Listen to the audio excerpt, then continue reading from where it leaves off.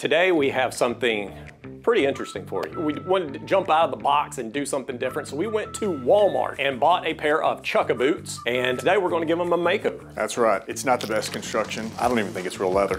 This stuff is literally just like melted.